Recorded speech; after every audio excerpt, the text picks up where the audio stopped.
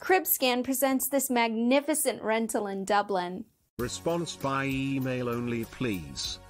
The forum is located in the Sandyford Business District and boasts an interesting combination of retail, food and beverage outlets, including a selection of cafes, restaurants and bars a large supermarket, pharmacy and health and well-being facilities. Number 26 is a third-floor apartment that has been recently decorated, offering panoramic views of Dublin as far as the port and Howth Head on a clear day. The apartment is fully furnished and is both bright and spacious throughout with a separate storage, utility area and access to a large balcony area through the main living space. A secure underground car space is included.